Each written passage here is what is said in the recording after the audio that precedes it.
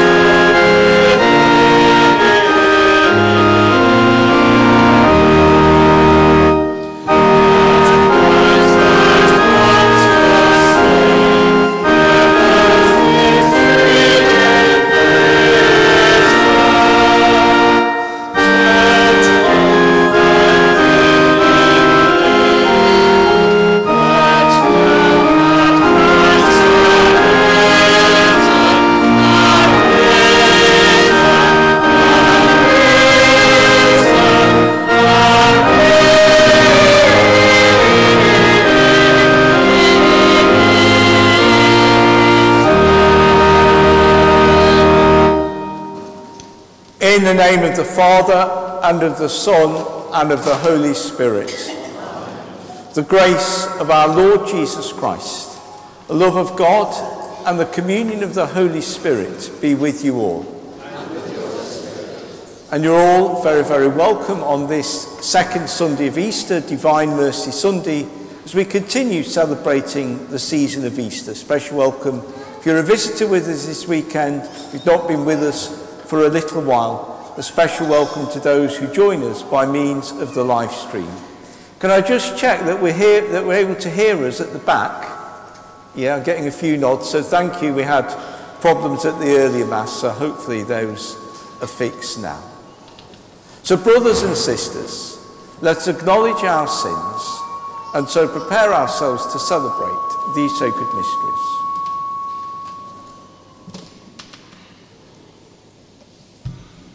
I confess to Almighty God, to you, my brothers and sisters, that I have greatly sinned in my thoughts and in my words, in what I have done and in what I have failed to do, through my fault, through my fault, through my most grievous fault.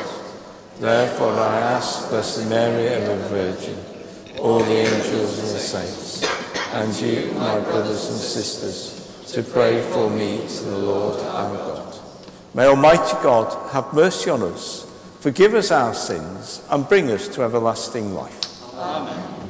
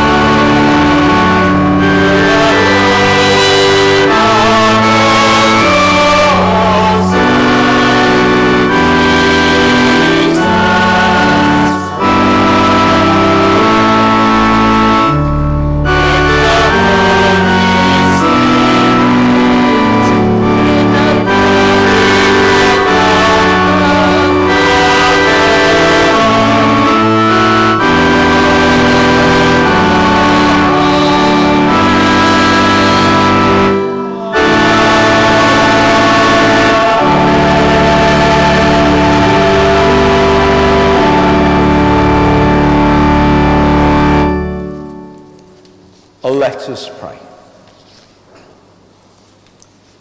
God of everlasting mercy, who in the very recurrence of the paschal feast kindle the faith of the people you have made your own, increase, we pray, the grace you have bestowed, that all may grasp and rightly understand in what font they have been washed, by whose spirit they have been reborn, by whose blood they have been redeemed, through our Lord ever and ever. Amen.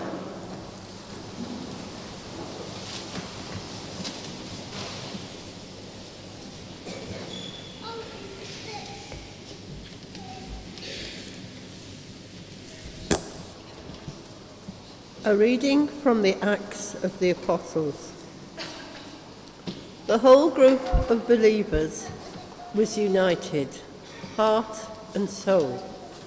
No one claimed for his own use anything that he had, as everything they owned was held in common. The apostles continued to testify to the resurrection of the Lord Jesus with great power, and they were all given great respect. None of their members was ever in want, as all those who owned land or houses would sell them and bring the money from them to present it to the apostles. It was then distributed to any members who might be in need. The word of the Lord. Give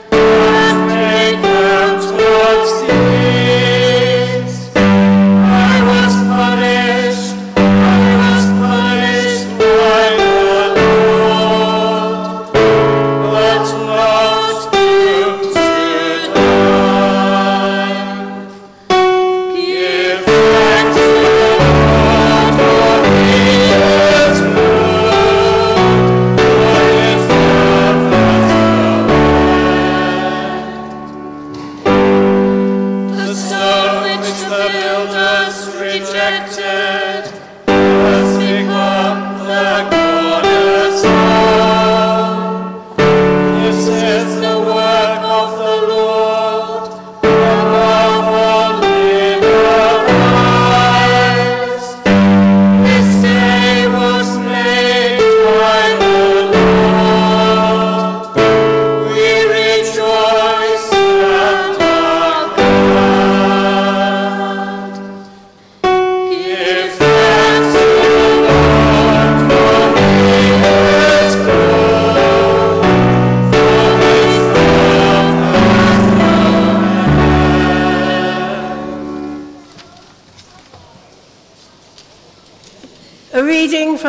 first letter of St. John.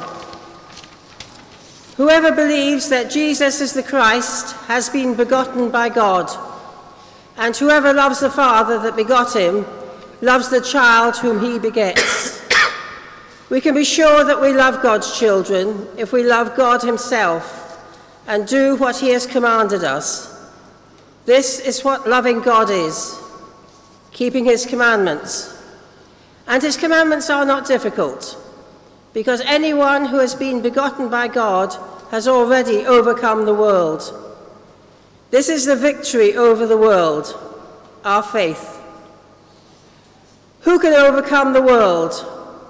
Only the man who believes that Jesus is the Son of God. Jesus Christ, who came by water and blood, not with water only, but with water and blood, with the Spirit as another witness, since the Spirit is the truth. The word of the Lord.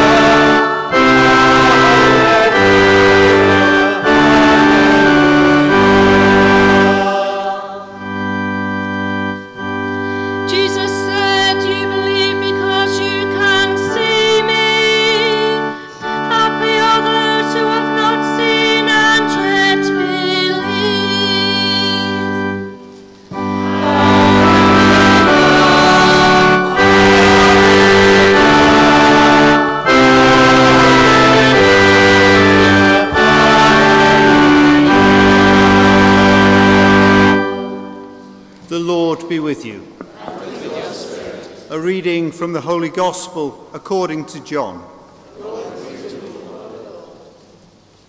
In the evening of that same day, the first day of the week, the doors were closed in the room where the disciples were for fear of the Jews. Jesus came and stood among them. He said to them, Peace be with you, and showed them his hands and his side.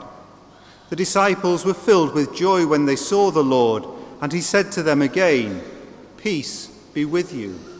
As the Father sent me, so am I sending you. After saying this, he breathed on them and said, Receive the Holy Spirit. For those whose sins you forgive, they are forgiven. For those whose sins you retain, they are retained. Thomas, called the twin, Jesus came. When the disciples said, We have seen the Lord, he answered, Unless I see the holes that the nails made in his hands, and can put my finger into the holes they made, and unless I can put my hand into his side, I refuse to believe. Eight days later, the disciples were in the house again, and Thomas was with them. The doors were closed, but Jesus came in and stood among them. Peace be with you, he said. Then he spoke to Thomas. Put your finger here. Look, here are my hands. Give me your hand. Put it into my side. Doubt no longer, but believe. Thomas replied, My Lord and my God.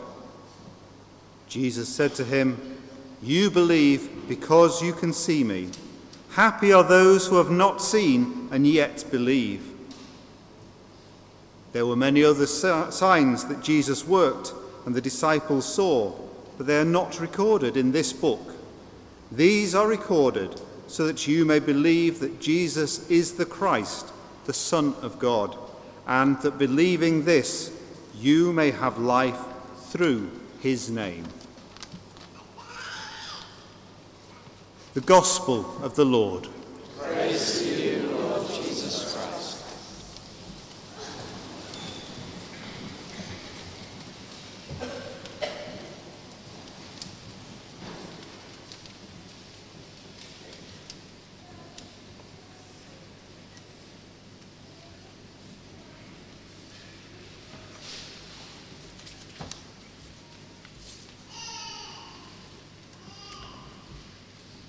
On this Divine Mercy Sunday, the question to ask ourselves is what is divine mercy?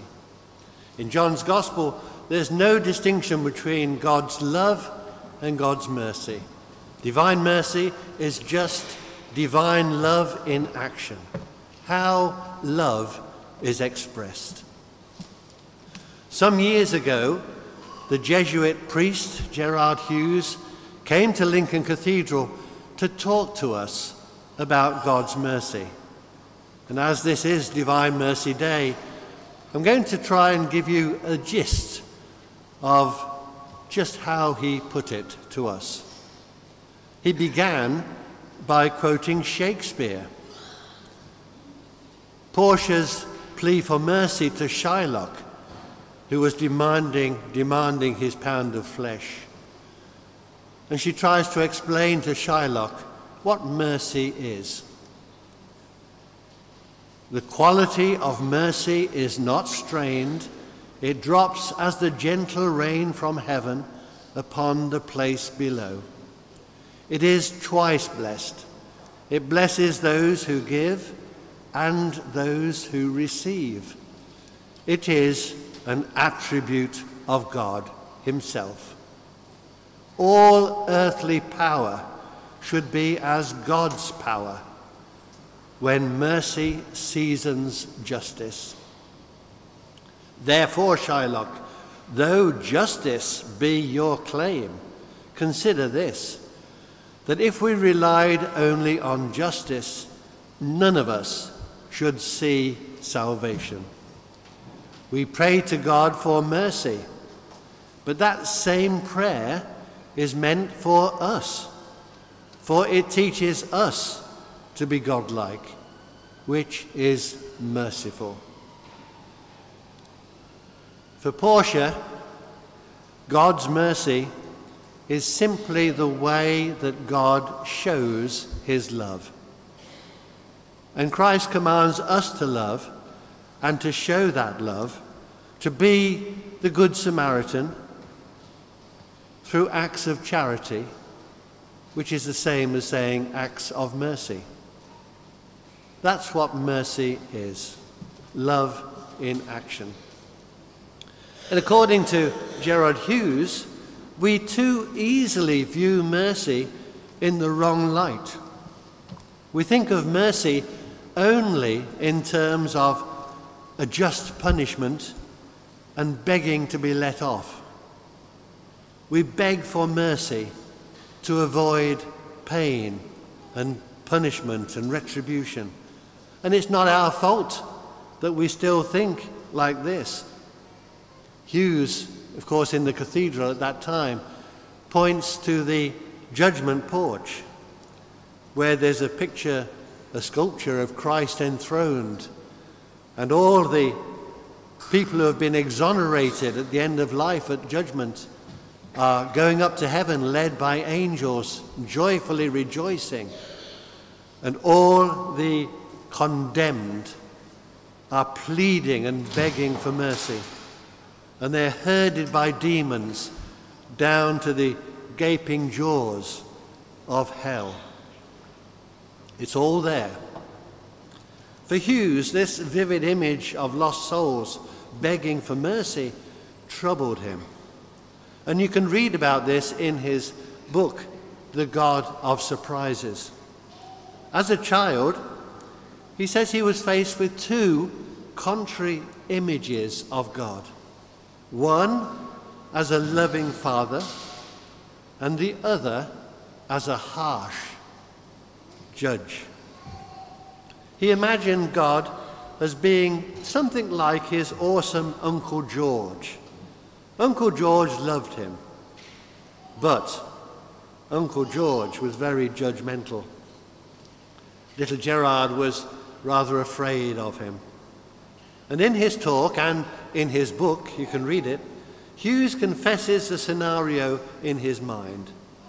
My parents insisted that we all visit my godlike Uncle George in his beautiful house every Sunday. We had to go because he ordered us to be there.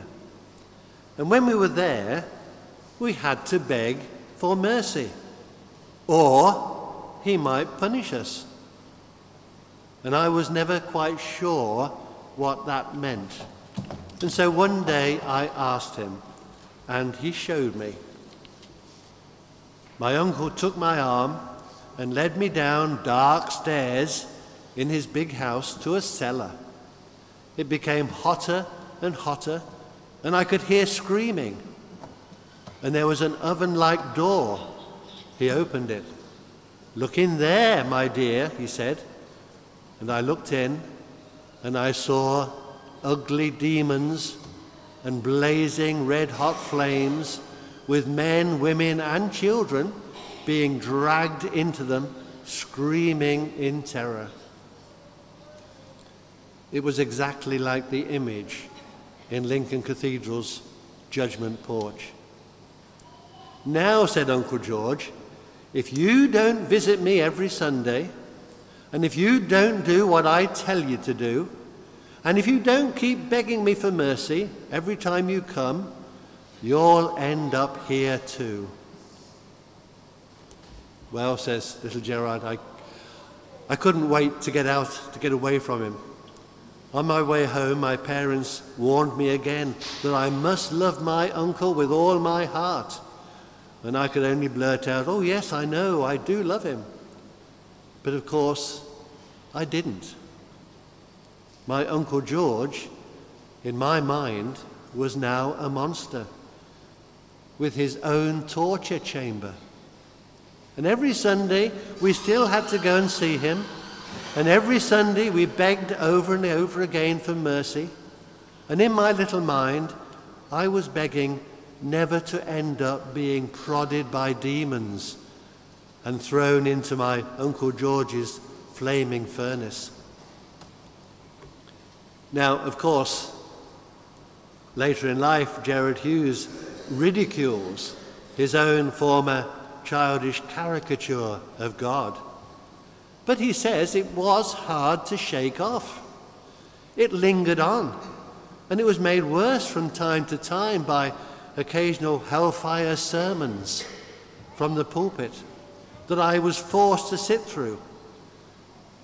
It took time to replace my ridiculous image of God mercilessly torturing lost souls with the more mature image of a God of unconditional love. My prayer changed too. Lord, have mercy, somehow became, for me, Lord, you are mercy. You are love. Christ, have mercy, came to mean, Christ, you are mercy. Mercy in person, mercy incarnate. Please make me merciful as you are merciful. Give me grace to be more like that father of the prodigal son and more like that good Samaritan. And it took time for me to think of mercy about not being about punishment, but about how God expresses his love. It took time to see Christ's commandment to love one another with acts of charity, which of course are no more than acts of mercy, as our expressions of human love for one another. For me, says Hughes, the commandment to love one another is exactly, exactly what mercy is all about. Not at all with begging to be excused or let off punishment. To ask God for mercy is to ask for His love, His divine love, in our lives and in our hearts. Love is all. Everyone needs love to experience it, to feel it, to receive it, to give it, to spread it, and to increase it among all our neighbours. A good God does not put down, a good God raises up. And that's our Christian vocation. We don't beg for divine mercy. No, we give thanks for it, that we already have it, proved on the Easter cross, simply because God is love. His love is unending, as we said in the psalm. His love is pure and totally unconditional.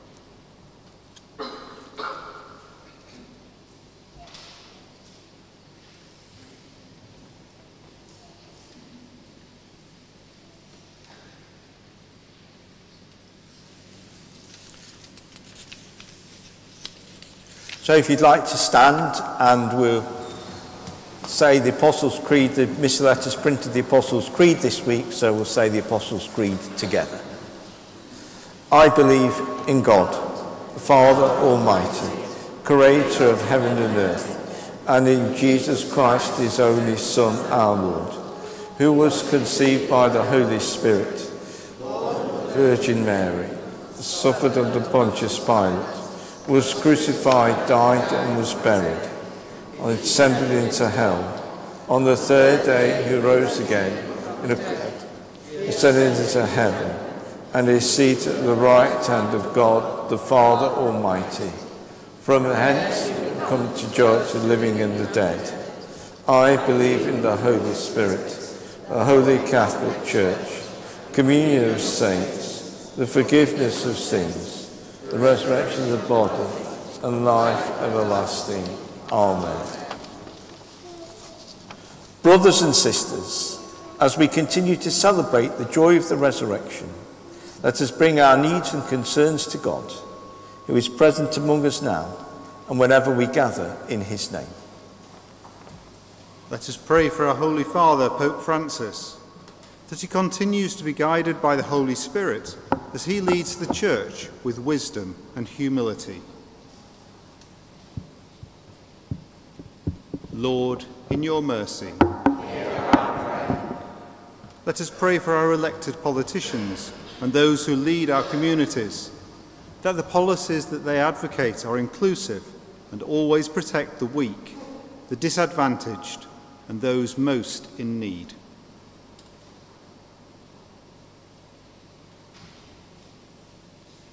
Lord, in your mercy. And let us pray for peacemakers living and working in the troubled parts of the world, that their efforts may be fruitful and that they can bring true peace to our world.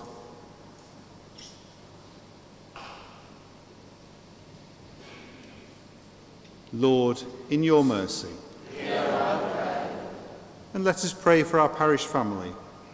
Let us pray that together we can stand as true witnesses to the life, death, and resurrection of our Lord and Saviour, Jesus Christ.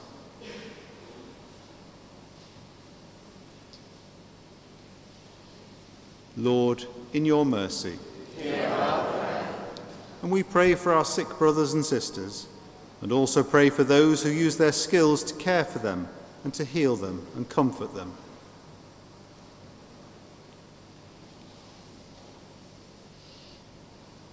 Lord, in your mercy. And we pray for all who have died recently.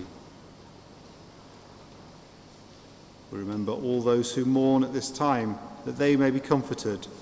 And we too remember all those whose anniversaries occur about this time. Lord, in your mercy.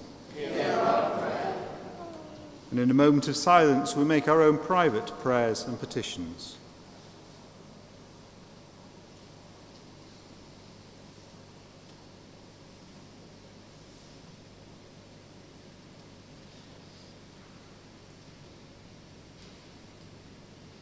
We join our prayers with those of Mary, Mother of our risen Saviour, as we say together, Hail Mary, full of grace, the Lord is with thee. Blessed art thou among women, and blessed is the fruit of thy womb, Jesus. Holy Mary, Mother of God, pray for, For us sinners, now at the hour of our death. Amen. Father in heaven, you sent your only Son into this world to die on the cross for our sins, to rise to eternal glory. Hear the prayers of the faithful gathered here in your Son's name. We ask this through Christ our Lord. Amen.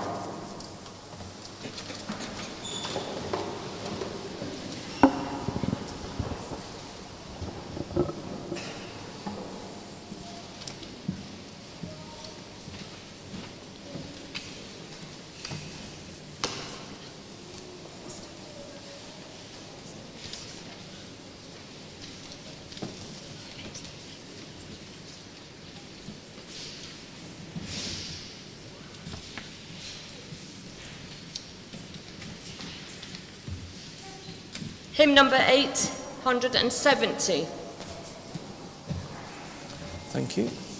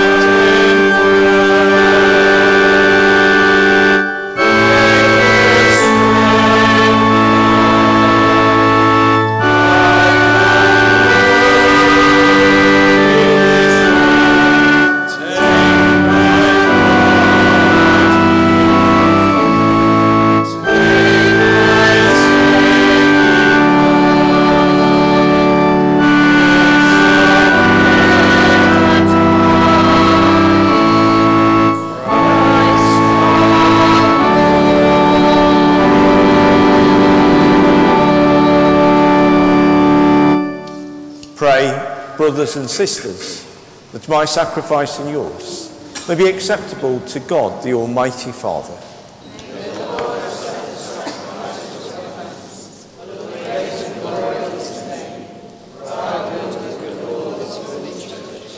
Accept, O Lord, we pray, the oblations of your people and those and of those you have brought to new birth, that renewed by confession of your name and by baptism, they may attain unending happiness through Christ our Lord. Amen. The Lord be with you. And with your spirit. Lift up your hearts. We lift them up to the Lord. Let us give thanks to the Lord our God. It is truly right and just, our duty and our salvation, at all times to acclaim you, O Lord, but on this day above all to laud you yet more gloriously, when Christ our Passover has been sacrificed. For he is the true Lamb who has taken away the sins of the world. By dying he's destroyed our death, and by rising restored our life. Therefore, overcome with paschal joy. Every land, every people exults in your praise. And even the heavenly powers with the angelic hosts sing together the ending hymn of your glory as they acclaim.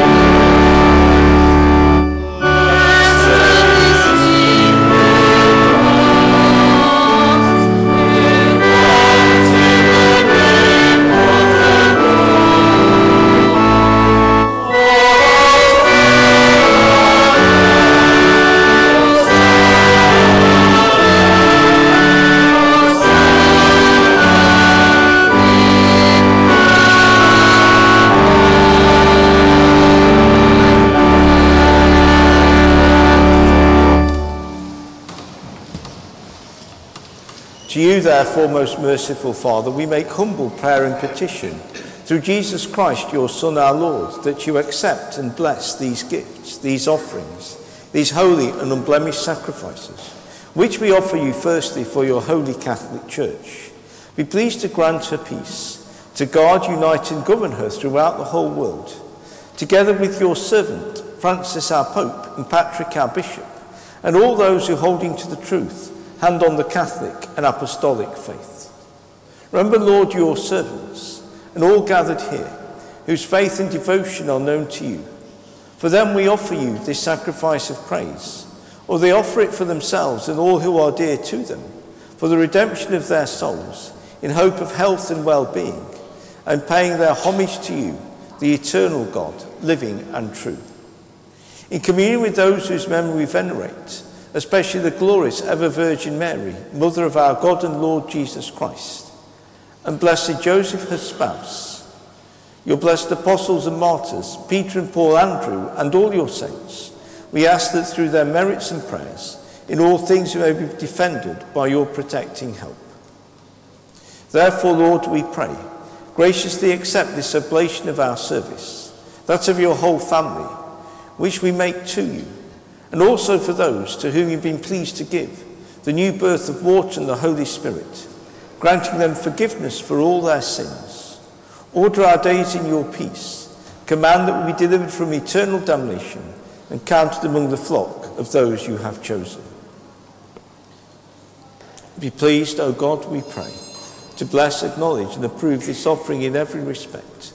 Make it spiritual and acceptable, so that it may become for us the body and blood your most beloved Son, our Lord Jesus Christ. On the day before he was to suffer, he took bread in his holy and venerable hands. With eyes raised to heaven, to you, O God, his almighty Father, giving you thanks, he said the blessing, broke the bread, and gave it to his disciples, saying, Take this, all of you, and eat of it, for this is my body which will be given up for you.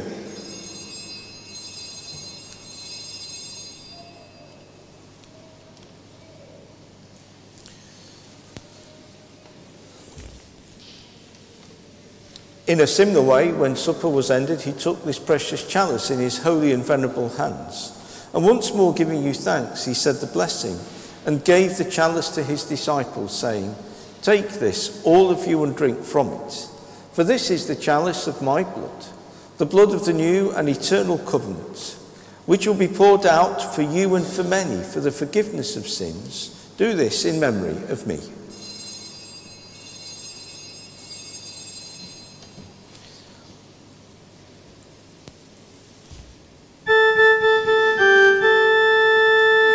Mystery of faith.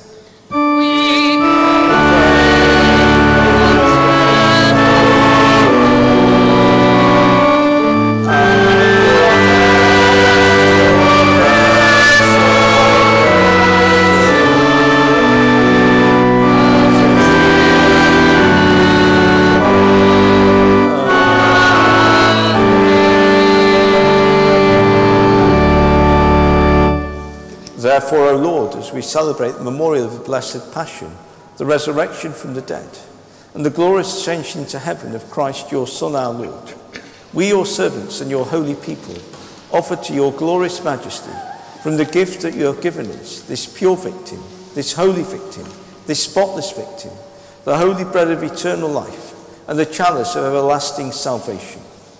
Be pleased to look upon these offerings with a serene and kindly countenance, to accept them as once you were pleased to accept the gifts of your servant, Abel the just, the sacrifice of Abraham, our father in faith, and the offering of your high priest Melchizedek, a holy sacrifice, a spotless victim.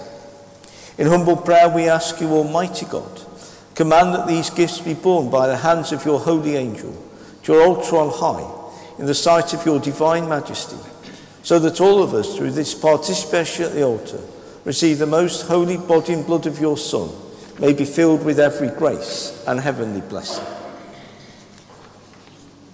Remember, Lord, also your servants who have gone before us with the sign of faith and rest in the sleep of peace. Grant them, O Lord, we pray, and all who sleep in Christ, a place of refreshment, light, and peace. To us also your sinners, who, to us also your servants, who those sinners, hope in your abundant mercies, graciously grant some share and fellowship with your holy apostles and martyrs, with John the Baptist, Matthias, Barnabas, and all your saints. Admit us, we beseech you, into their company, not weighing our merits, but granting us your pardon through Christ our Lord. Through whom you continue to make all these good things, O Lord. You sanctify them, fill them with life, bless them, and bestow them upon us. Through him and with him and in him, O God Almighty Father, in the unity of the Holy Spirit, all glory and honour is yours forever and ever.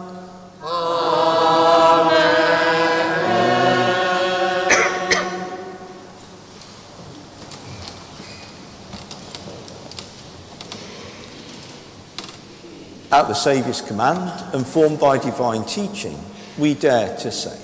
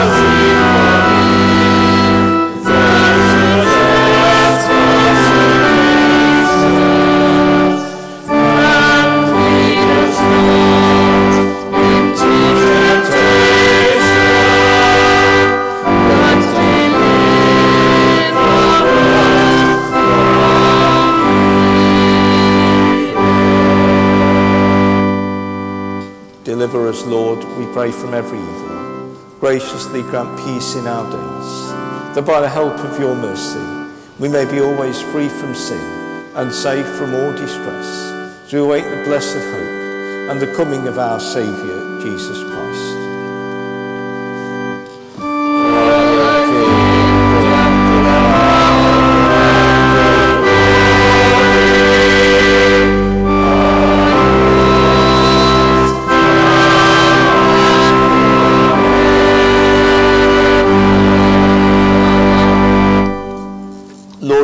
Christ, who said to your apostles, Peace I leave you, my peace I give you.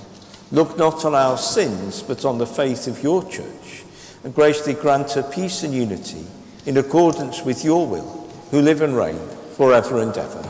Amen. The peace of the Lord be with you always. and with your spirit. Let us offer each other the sign of peace. Peace, John. Peace with you. Peace with you.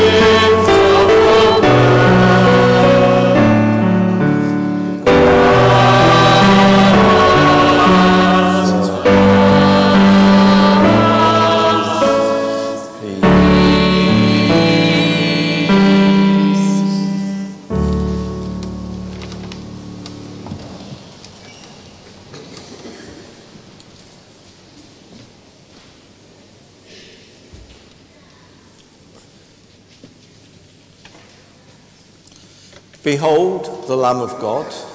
Behold him who takes away the sins of the world.